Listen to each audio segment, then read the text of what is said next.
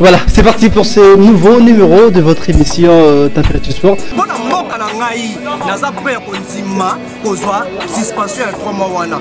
Donc depuis tobotama nanu génération na ngai nanu to- tomona léopard te yada nzambe. Tundi kaka soki ye eti azala yabetaka bani papa ngai nakwayanga makambo oyo bato balobaka te. Réalité ezala awa ozo comprendre toza derrière les léopards nous, sommes là derrière. Donc ne nous décevez pas s'il vous plaît.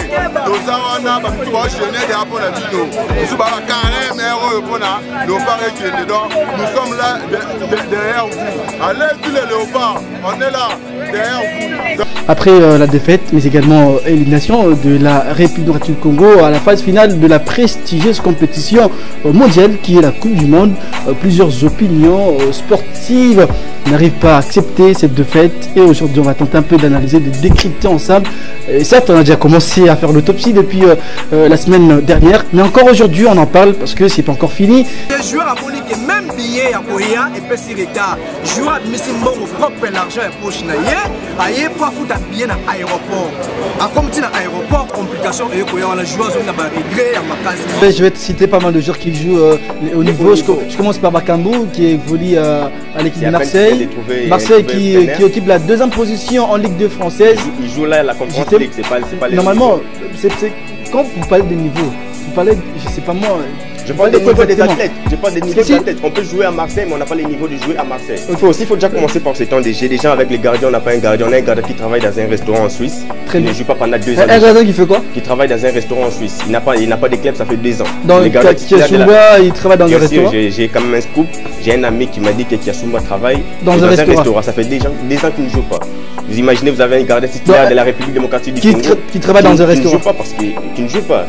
Vous êtes Tu sérieux sais qu'il y a des Congos qui te suivent. Si, j'assume mes propos. Très bien. J'assume mes propos. Kiasumba, ça fait des ans aujourd'hui qu'il ne joue pas. Ok. Et pour. Non, tu- dire des gens qui jouent pas, ça, Des c'est normal. pas, aujourd'hui, je pas- bossent j'ai- quelque part. J'ai pas de, pas vous de savez, travailler dans un Vous savez, restaurant. la vie en Europe, c'est pas facile. C'est pas comme ici au Congo. C'est un joueur des renommé, il est père de famille, il a deux enfants et une femme.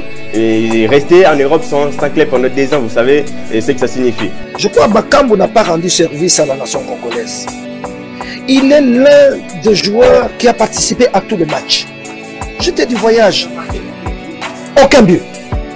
Oui, matchs joués. Vous, vous connaissez la responsabilité de Bakambu. Il faut pas, c'est bien, il dit, il s'en fout, il s'en fout. Mais il a causé du tort à la République démocratique du Congo parce qu'il n'a pas été honnête. À sa place, j'aurais pu dire, je viens de Chine, je n'ai pas le temps de jeu qu'il faut. Vraiment, s'il vous plaît, mettez quelqu'un d'autre. Ils n'ont pas, il y a des joueurs qui n'ont pas été honnêtes.